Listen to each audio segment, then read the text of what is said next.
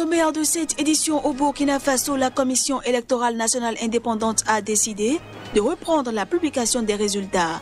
Cette reprise intervient après une journée de suspension. Les leaders de la coalition de l'opposition démocratique, une plateforme politique réunissant 14 formations d'opposition, en vue de l'élection présidentielle de décembre, ont tenu un meeting à Bangui.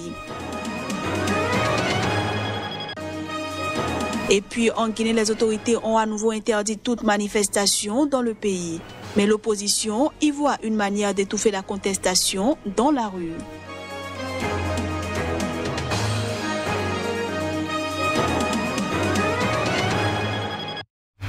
Voilà ainsi présenté l'ossature de cette édition. Bienvenue à tous.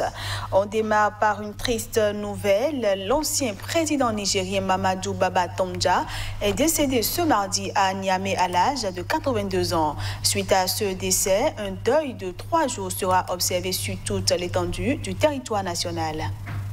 L'ancien président Mamadou Baba Tanja, qui avait dirigé le Niger de 1999 à 2010, date de son renversement par un putsch est décédé ce mardi à Niamey, selon un communiqué de la présidence lu à la télévision publique nigérienne. Un deuil de trois jours sera observé sur toute l'étendue du territoire national, conclut le TES, qui ne précise pas la cause de la mort de l'ancien président. Ancien militaire ayant participé au putsch contre le président Diori Amani au profit du général Seni Kounché, mort au pouvoir en 1987, Mamadou Tanja avait ensuite été ministre à plusieurs reprises avant d'être élu président en 1999. Renversé en 2010 par un putsch militaire, après avoir voulu s'accrocher au pouvoir suite aux deux mandats auxquels lui donnait droit la Constitution, Tanja restait une figure populaire au Niger. Alors que ses partisans ont longtemps espéré son retour sur la scène politique, Mamadou Tanja s'était définitivement retiré après des soins médicaux en France en 2015. Le président Tanja vient de nous quitter après avoir vaillamment lutté contre la mort. Je présente mes condoléances émues à sa famille. C'était un grand homme. Il nous laisse le souvenir d'un président au patriotisme chevillé au corps. Qu'il repose en paix, a tweeté l'ancien ministre Mohamed Bazoum, candidat du parti au pouvoir à la présidentielle de décembre prochain. Le président Mahamadou Issoufou a lui fait part de sa profonde émotion Après une journée de suspension, la Commission électorale nationale indépendante a repris la proclamation des résultats commune par commune au Burkina Faso. Le double scrutin s'est déroulé dimanche dernier sous haute tension sécuritaire, le Burkina Faso étant miné par des attaques de groupes djihadistes qui ont fait au moins 1200 morts en cinq ans. Alors qu'elle avait commencé la proclamation des premiers résultats des communes, la Commission électorale nationale indépendante a décidé de la suspendre. Une décision prise en l'absence des cinq commissaires de l'opposition qui ont suspendu leur participation aux travaux en cause la manière dont se déroule la compilation au niveau des centres communaux. Selon Newton Ahmed Barry, les cinq commissaires de l'opposition ont ensuite demandé la suspension de cette proclamation le temps que ces compilations manuelles parviennent à la CENI. Ce que cette dernière a finalement fait lundi après-midi. Mais après une journée de suspension, la Commission électorale nationale indépendante a décidé de reprendre la publication des résultats commune par commune. Pour le président de la CENI, Newton Ahmed Barry, il fallait aller de l'avant. Il fallait aller de l'avant. Au moment où je vous parle, nous, nos cinq camarades ne sont toujours pas revenus. Il se trouve que nous sommes aussi tenus par les délais et donc les dix commissaires ici présents ont décidé de la reprise des examens, de la validation et de la publication des résultats. La commission électorale a un délai de sept jours pour proclamer des résultats provisoires. Ils doivent être ensuite validés par le Conseil constitutionnel. Je l'annonçais en titre, en Centrafrique, les leaders de la coalition de l'opposition démocratique, une plateforme politique réunissant 14 formations d'opposition en vue de l'élection présidentielle prévue pour décembre prochain, ont tenu ce mardi un meeting à Bangui. Initialement interdit par le ministère de l'Intérieur, le meeting s'est finalement déroulé dans le calme.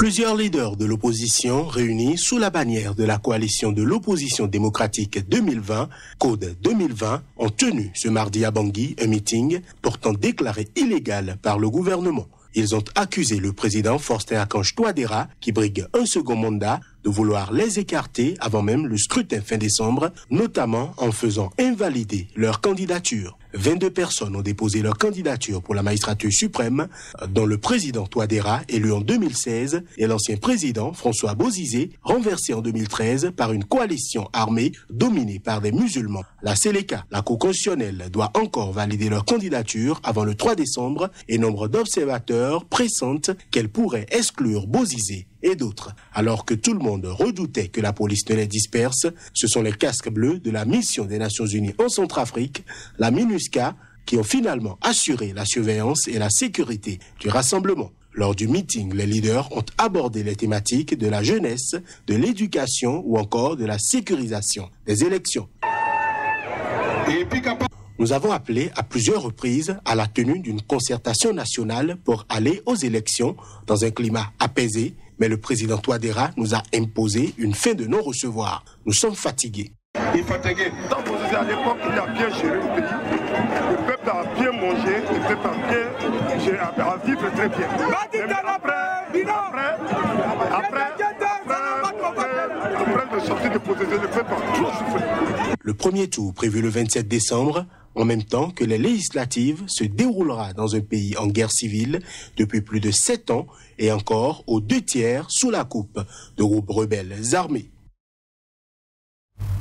En Guinée, les autorités ont à nouveau interdit toute manifestation dans le pays. Cette mesure vise, selon elles, à mieux lutter contre la propagation de l'épidémie de coronavirus.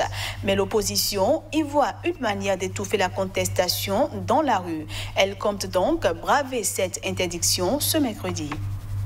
Dans le but de lutter, selon elle, contre la propagation du coronavirus, les autorités guinéennes ont à nouveau interdit toute manifestation dans le pays. Cette mesure est motivée par une raison sanitaire, indique un communiqué qui annonce la suspension des manifestations de masse dans tout le pays. Il y a quelques jours, le président Alpha Condé avait prolongé l'état d'urgence, s'inquiétant de la progression du nombre d'infections du coronavirus et du relâchement des Guinéens pour appliquer les gestes barrières. L'Union des forces démocratiques de Guinée, l'UFTG, dont plusieurs membres font l'objet de poursuites judiciaires, y voit une manière de museler l'opposition. Après avoir organisé de grands meetings pour la présidentielle, le régime sort de son amnésie et se souvient soudainement de l'existence de la pandémie a dénoncé le parti de Célou d'Alain Diallo, candidat malheureux à la présidentielle, et qui continue de contester les résultats. L'organisation guinéenne de défense des droits de l'homme a pour sa part dénoncé une violation des libertés d'expression.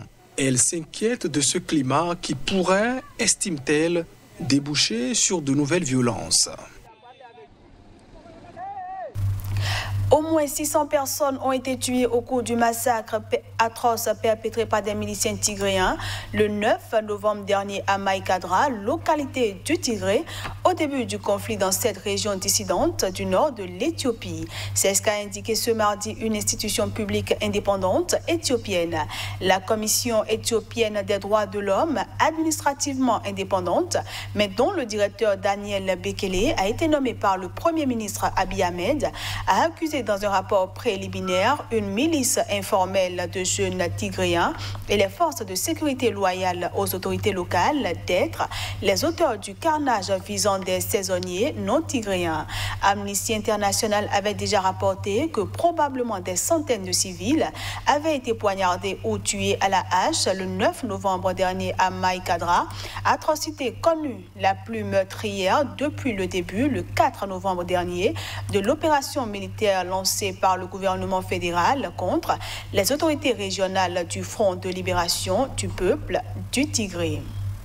Le parti au pouvoir l'a déclaré ennemi de l'État. Sorti vendredi dernier de prison, son deuxième séjour en moins de quatre mois, la détermination du journaliste au Pouel Shin Ono reste entière. Il va continuer son travail.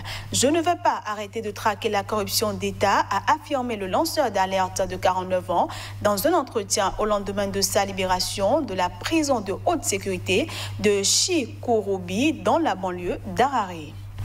Il est resté 17 jours dans la section D, réservée aux condamnés à perpétuité ou à mort, une situation dénoncée par son avocate à chaque audience avant sa libération sous caution. Cette fois, il était emprisonné pour entrave à la justice après la publication d'un tweet dénonçant l'intervention du gouvernement auprès de magistrats enquêtant sur une affaire de contrebande d'or. Exposer la corruption, c'est la nature du travail, sinon je ne suis plus journaliste, répète-t-il d'une voix calme. Hopwell Shinono, journaliste d'investigation zimbabwéen, traverse une période sombre avec le régime de Nangagwa. Fin juillet, des policiers avaient fracassé la baie vitrée de sa salle à manger pour l'arrêter. Il avait filmé avec son téléphone et diffusé en direct leur irruption. Les autorités l'accusaient alors d'avoir incité à la violence publique pour avoir relayé des appels à manifester contre la corruption d'État. At the regime, the government does not uh, le régime de Nangagwa ne veut pas que la corruption soit révélée comme elle devrait l'être. Et si on parle du détournement des fonds publics et des ressources naturelles en mettant en cause la famille du président, on est arrêté.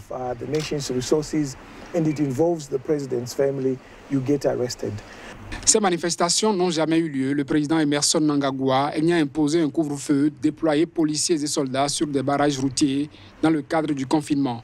Un mois avant son arrestation, un haut responsable du parti au pouvoir, Lazanu, Patrick Shinamasa, dénonçait les attaques systématiques contre l'intégrité de la famille du président par des personnages sans scrupules tels que Hopewell Shinono. À cette époque, le reporter, plusieurs fois primé, enquêtait sur une affaire de corruption présumée autour d'achats par le gouvernement de matériel de protection et de tests Covid qui a abouti à la démission du ministre de la Santé. De cette édition. Merci à tous d'avoir été des nôtres.